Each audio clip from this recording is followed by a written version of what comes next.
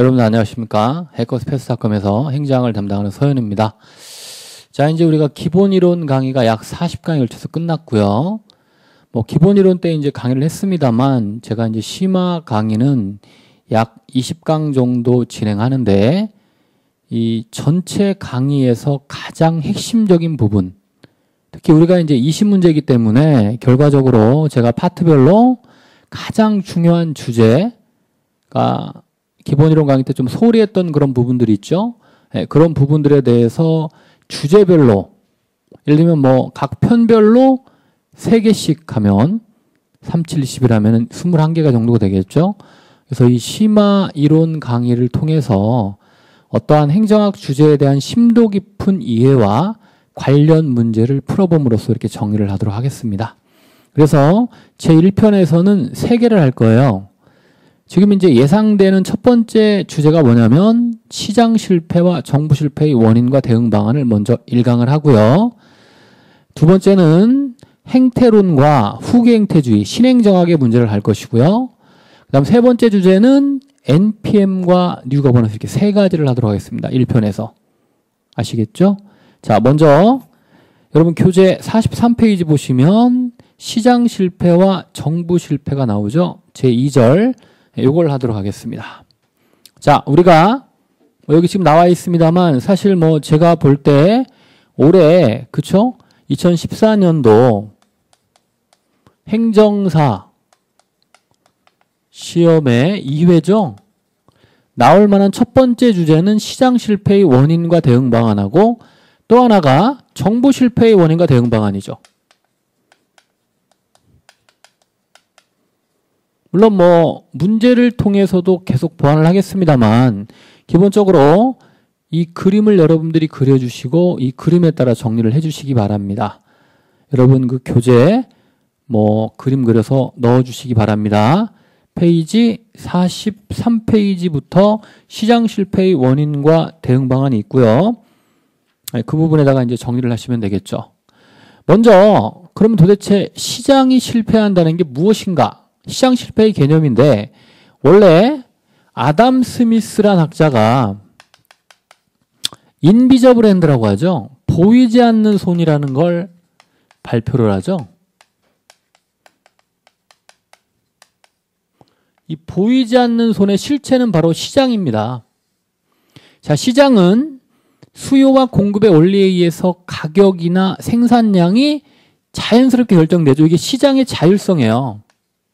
그런데 이 이렇게 보이지 않는 손이 깨지면 즉 자율적인 균형이 깨지면 보이지 않는 손이 역할을 못하게 되겠죠. 이게 바로 시장 실패예요. 시장 실패는 여러 가지 다양한 원인인데 시장 자체의 내재적 원인에 의해서도 있고요. 거시적으로 보면 뭐 경제 성장이나 안정, 시장 외의 요인도 여러 가지가 있습니다. 이러한 여러 가지 요인을 종합적으로 정리해 가지고 특히 시험 문제에 본격적으로 출제가 될 수 있는 것이 바로 요 표죠. 그래서 시장 실패가 발생하면 그에 따른 대응 방안은 당연히 정부가 개입하는 방법밖에 없다고 그랬죠. 이러한 정부 개입 방법은 여기 나와 있는 세 가지입니다. 첫 번째가 공적 공급.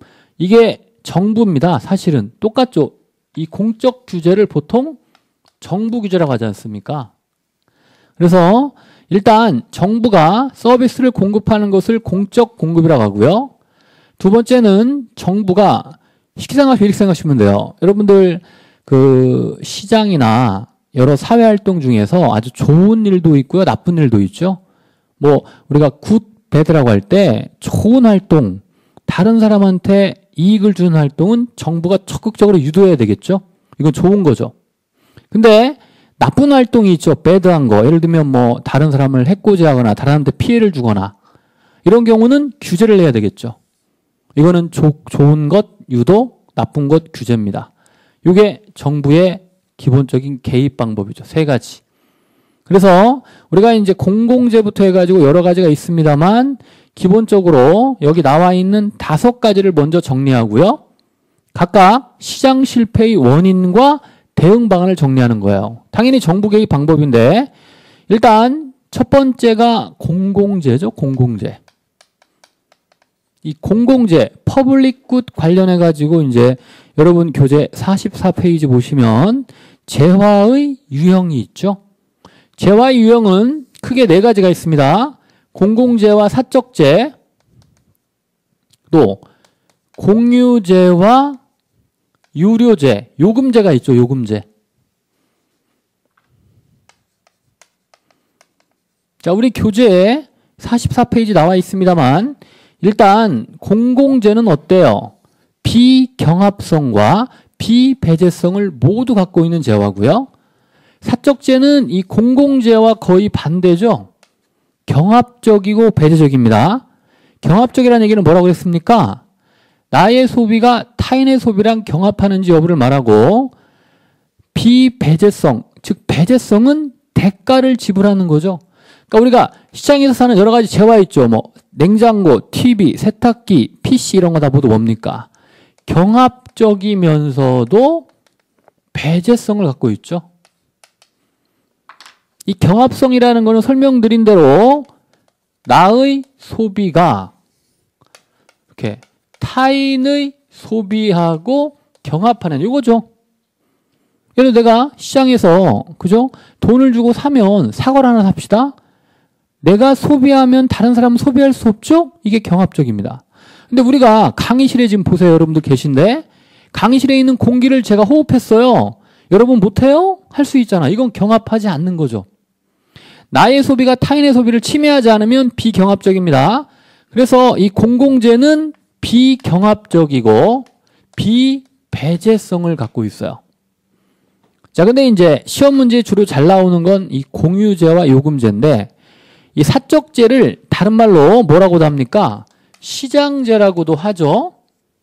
그래서 시장제를 넓게 보면 요 안에 이제 중요한 게 하나 있는데 가치제라는 개념이 들어가요. 재화의 종류 중에서.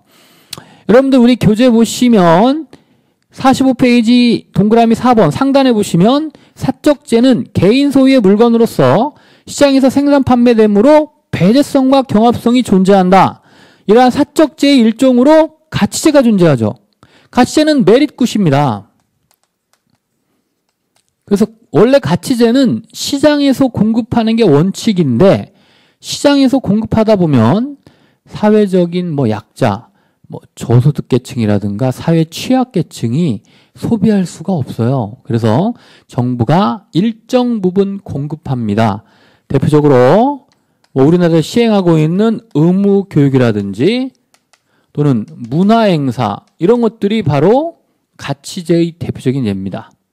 그래서 결과적으로 시장제의 일종으로서 가치제가 존재하는 걸 기억하시면 되겠고 이 요금제라는 거는 보세요. 자 일단 요금을 내야 되니까 대가를 지불하죠.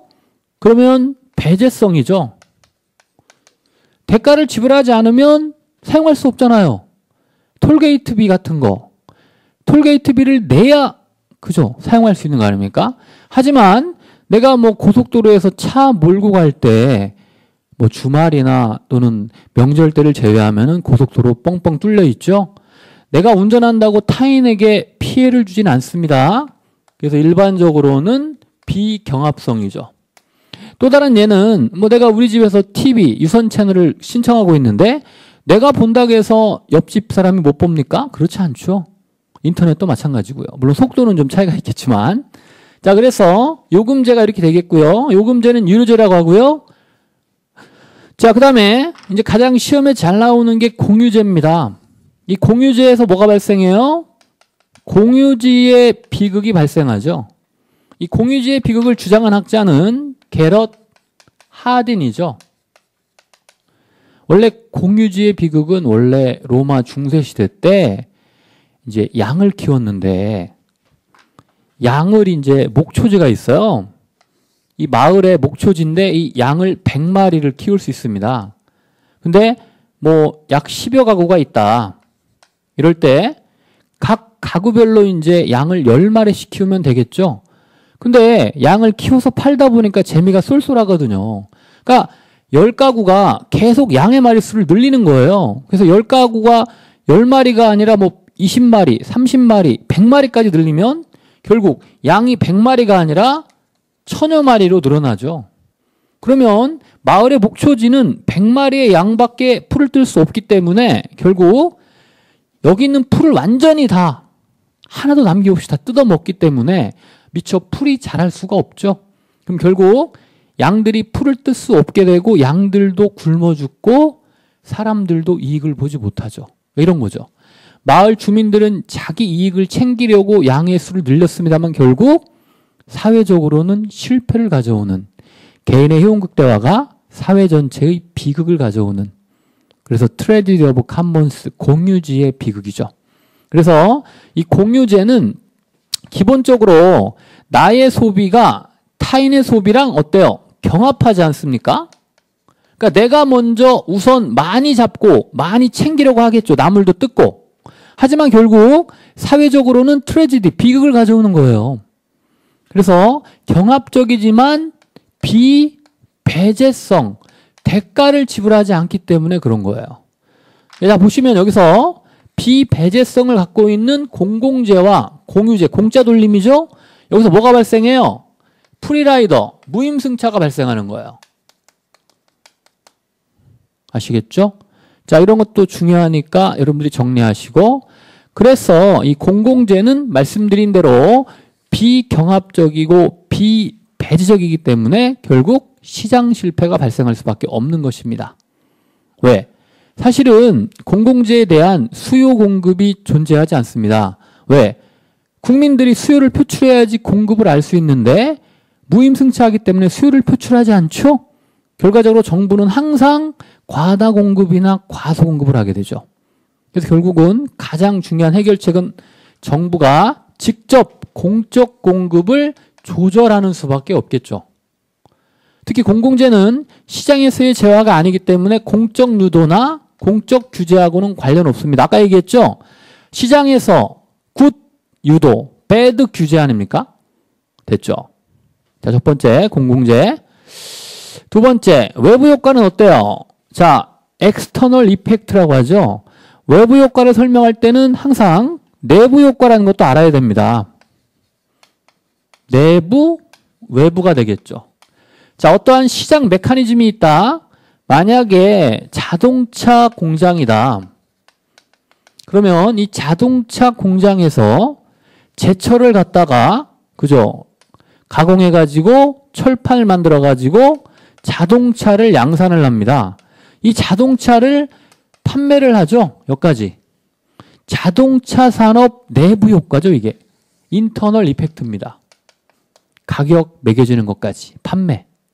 근데 이 자동차 산업이 이게 이제 자동차 산업 메커니즘의 내부 효과인데 밖으로 영향을 미치면 이게 external effect 외부 효과가 되겠죠.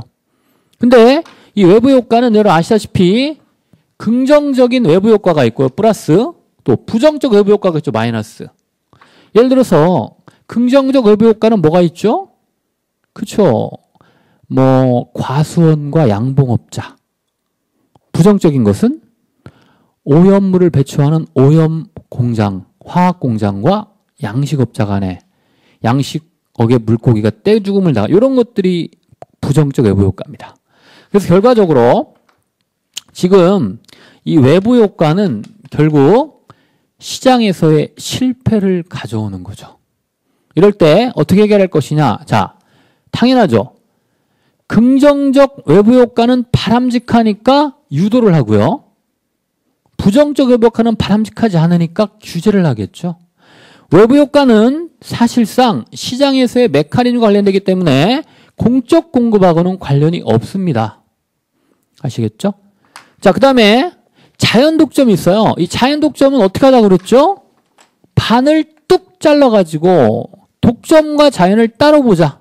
근데 밑에 보니까 불안전 경쟁이 있네요.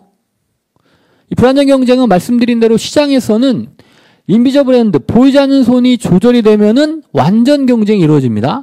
이 완전 경쟁이 깨지는 것도 역시 시장 실패입니다. 그래서 불안전 경쟁이라는 거는 자 독점과 과점 이렇게 두 가지로 나눌 수 있다고 그랬죠.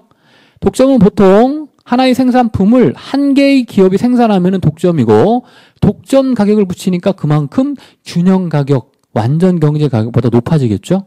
마찬가지로 과점은 뭐 서너 개의 기업이 과점하는데 담합을 하죠. 카르텔. 카르텔 형성함으로써 그죠. 균형 가격, 완전 경쟁 가격보다 높게 이윤을 추가합니다. 뭐 대표적으로 우리나라의 정유 회사들이 담합을 하죠. 또는 이동통신 이런 것들 담합이죠. 그래서 결과적으로 불안된 경쟁은 완전 경쟁을 깨뜨리고 시장의 자율성을 해치기 때문에 독점이나 과정을 못하도록 불공정 거래를 못하도록 막아야 되겠죠. 굿이에요, 배드예요. 배드하죠. 규제죠. 그죠? 예, 나머지 관련 없고. 자, 여기서 이제 세 번째 자연투 봅시다. 자, 독점이 어때요? 나왔죠, 답? 예, 규제하고.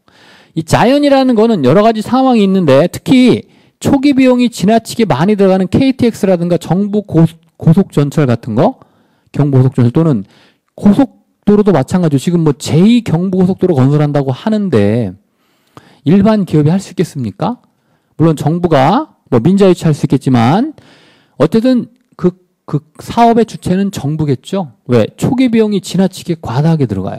KTX가 22조가 들어갔죠. 나중에 40조가 들어갔습니다. 경부 KTX가. 이렇게 22조 40조를 될 수 있는 기업은 없기 때문에 어쩔 수 없이 정부가 자연스럽게 독점을 합니다. 이게 자연 독점이에요.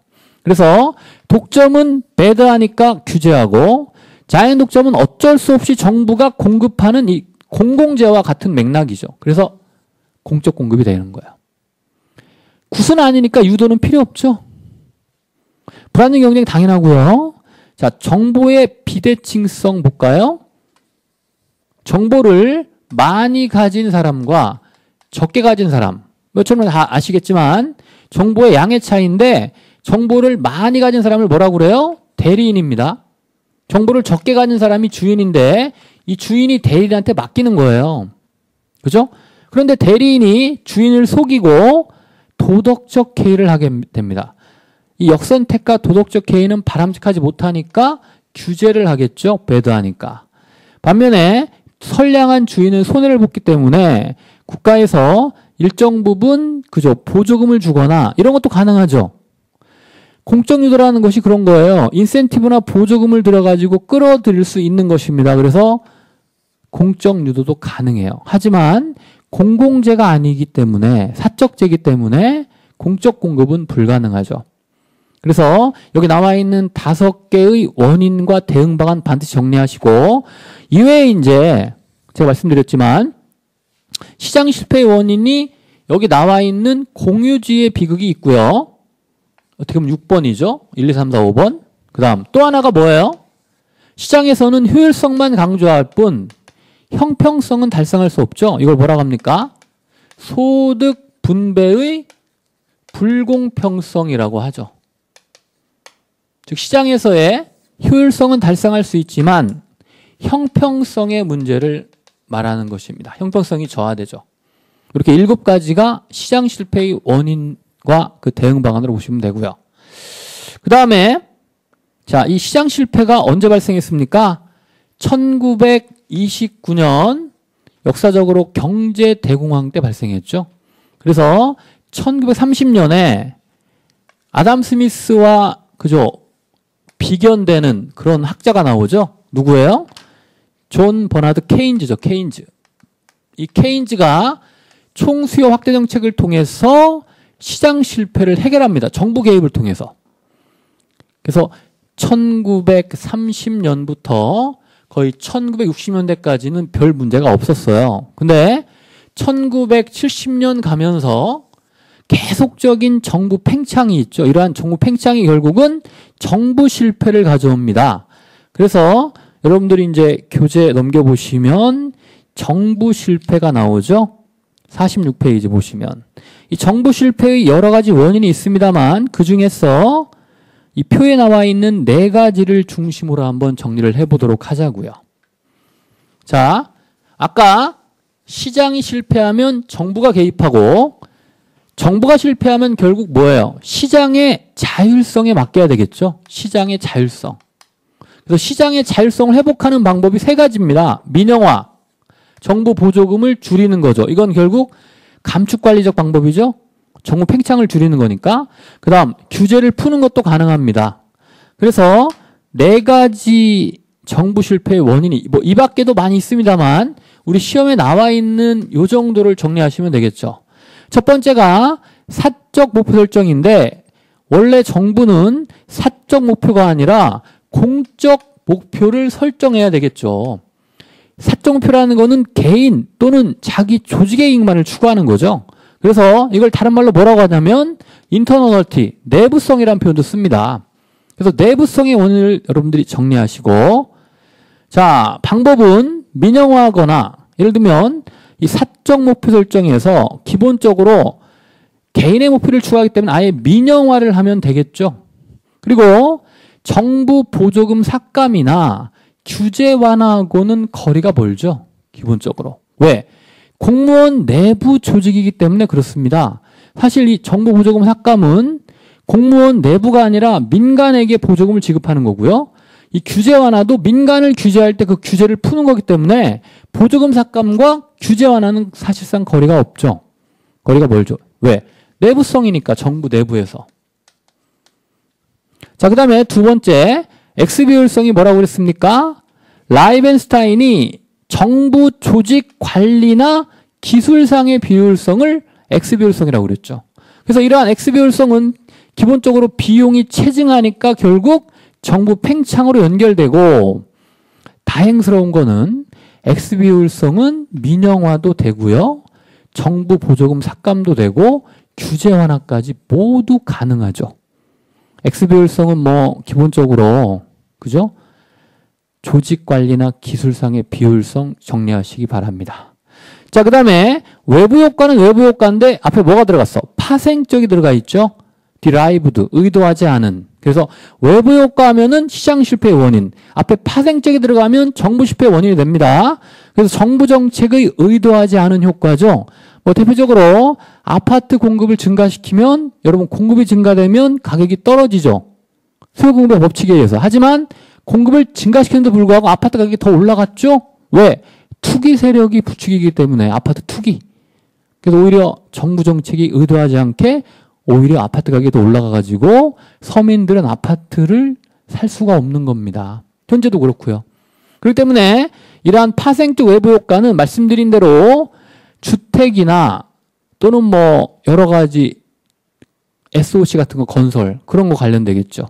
그러다 보니까 공공성이 강합니다. 그래서 자 중요한 거는 민영화는 안 된다. 이거 꼭 기억하세요. 파생적 외부 효과는 주택 건설이나 그죠? 또는 뭐 SOC 건설 같은 게 있기 때문에 공공성이 강해요. 그래서 민영화할 수가 없습니다. 대신에 보조금을 줄인다든가 규제를 푼다든가는 가능하죠. 자, 그 다음에 네 번째, 권력 독점인데, 이 권력이라는 거는 총치적 의미인데, 이 권력 안에 최근에는 뭐 인적, 물적 권력뿐만 아니라 정보 권력이 포함되고요. 그렇기 때문에 권력의 독점에 의해서 특혜를 주게 되면 결국 일부 특정 대기업이나 특정 계층이 이익을 보고요. 결과적으로 정부 실패 원인이 됩니다. 이럴 경우에 그 특정 조직을 민영화한다든가. 하지만 자 보조금 지급하고는 관련이 없어요. 왜? 그러한 특정 권력체에게 보조금을 지급하는 건 아니죠. 보조금이라는 건뭐 사회적 약자라든가 뭐 저소득층 또는 뭐 예를 들면 어린이집 같은데 이런 데 보조금을 지급하는 건 민영화의 일종이기 때문에 결과적으로 보조금 삭감하고는 거리가 멀고요. 자, 권력이라는 건 결국 규제 때문에 권력이 생기거든요. 그 규제를 풀면은 권력 독점이 완화되겠죠? 그래서 가능하죠. 이 밖에 여러 가지 다양한 요인이 있습니다. 여러분들 교재 보시면 뭐 제가 설명드렸습니다만 수입과 지출의 분리라든가 비용과 편익의 절연, 효과 설명드렸고요. 또는 권력 독점이 5번이죠. 권력 독점과 불균형에 의한 소득 분배 불공평성. X비율성 그리고 7번에 보시면 아주 중요하죠. 정치인의 단견 왜? 시간의 할인율이 매우 높다고 그랬죠? 이런 것들이 바로 정부 실패의 원인이고 그에 따른 대응 방안이 있습니다. 자, 50페이지로 가시면 그러면 도대체 정부 규모가 왜 팽창했는지 학자들의 주장이 있죠. 여러분 52페이지 보시면 공공재의 적정 규모에 관한 논의가 있습니다. 그 표를 보시면서 제가 설명을 해드릴게요. 일단 과소공급설과 과다공급설이 있죠. 물론 과소공급, 과다공급 다 정부 실패의 원인이 됩니다. 결과적으로 공공재, 과소 공급과 과다 공급이 있죠. 그래서 과소 공급설이 네 가지고요. 과다 공급설이 많이 있죠. 일단 과소 공급설에서 네 가지를 기억하시는 게 좋겠죠. 첫 번째가 뭡니까? 머스그레이브의 조세 저항. 두 번째가 다운스의 합리적 무지. 세 번째가 갈브레이스의 선전 의존 효과. 네 번째가 듀젠베리의 유행이나 패션 효과입니다. 머스그레이브의 조세 저항이나 다운스의 합리적 무지는 결국 정부에서 국민들한테 세금을 내라고 하면 국민들이 세금을 적게 내는 거죠. 텍스를. 그러다 보니까 결국 공공재 공급이 감소하게 되는 이런 메커니즘이죠. 뭐 세금을 많이 걷어야 공공재를 많이 공급할 거 아닙니까? 그죠? 반면에 이 갈브레이스와 듀젠베리의 그죠 이론은 공공재와 사적재를 비교합니다. 그래서 공공재보다는 사적재가 선전이나 선전, 유행이나 패션에 민감하기 때문에 결국 사적재 생산이 증가하고 공공재 생산은 감소한다는 논의로서 과소공급설, 이게 이제 정부 팽창으로 연결될 수가 있겠죠. 정부 팽창. 그래서 정부 팽창설, 그죠? 정부 규모로 볼 때,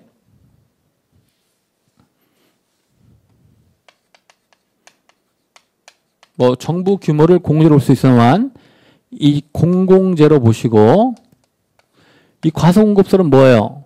축소설이 되겠죠? 과다 공급설은 팽창설이 되겠죠. 그래서 거기 나와 있는 나머지 논의에 대한 개념을 정리하면서 마무리할까 합니다. 자, 먼저 피카과 Y지만의 전이 효과와 대체 효과인데 전쟁이나 위기 시에 국민에 대한 조세 부담 능력, 즉 수용성이 증가하죠. 즉 국민들이 세금을 많이 내죠. 결국 세금을 많이 내므로써 어때요? 민간 지출과 정부 지출이 있다면 정부 지출이 민간 지출을 대체해 버리는 거죠. 전이 효과, 대체 효과를 통해서 공공재 공급, 즉 정부 팽창설입니다. 그 다음 보물병은 공공 부분, 특히 민간 부분이 노동 집약적 성격이 하나의 고질병이기 때문에 기본적으로 생산성 저하를 가져오는 고질병을 보물병이라고 하죠. 그래서 결국 그 고질병, 즉 노동 집약적 부분을 그 해결하기 위해서 더 또 다른 인력 부분의 증가를 가져오고 또 다른 인력 부분의 증가는 결국 비용이 증가하죠. 정부 규모가 팽창할 수밖에 없는 것이고요. 니스카넨 예산 극대화 모형, 자기 부서 이익의 극대화 또는 뷰캐넌의 다수결 투표와 리바이어던 가설인데 결국 다수결 투표를 통해서 어느 특정 지역에서의 SOC의 증대는 도로 건설이나 뭐 교량 건설의 증대는 결국 정부 예산의 팽창을 가져옵니다. 또한 리바이어던 가설은 뭐라고 했어요? 레비아탄 리바이어던은 완전한 정부로서 국민의 요구를 모두 수용하는 정부거든요. 그러니까 결국 정부 팽창이 일어나죠. 그 밖에 지출한도의 부재라든가 정부는 종결장치, 가시적인 기량력이 부재하죠. 균형 유지력이 없습니다. 계속 팽창하기만 하는 거고 양출 재입의 원리는 정부는 무조건 먼저 지출을 하고 그 다음 수입을 걷죠. 그러다 보니까 신용카드처럼 먼저 쓰고 보자라는 그런 심리가 있어요. 그러다 보니까 정부 규모가 팽창하는 것이고요. 또한 마지막 직접세는 우리 눈에 보이지만 간접세는 우리 눈에 보이지 않죠. 이러한 간접세 위주의 재정 구조는 결국 재정 착각을 통해서 정부 실패, 정부 팽창을 가져옵니다. 아시겠죠? 자, 이렇게 해서 이제 이번 시간에 1강이었는데 시장 실패와 정부 실패의 원인, 그리고 정부 규모의 팽창에 대해서 설명을 했습니다. 여기서 이제 과소공급설과 과다공급설 여러분들이 잘 정리하시고 특히 과다공급설의 예를 기본적인 개념을 정리하시면 됩니다. 아시겠죠? 자, 지금까지 수고 많으셨고, 다음 시간에 이제 행태론과 후기 행태주의를 정리해 드리도록 하겠습니다. 감사합니다.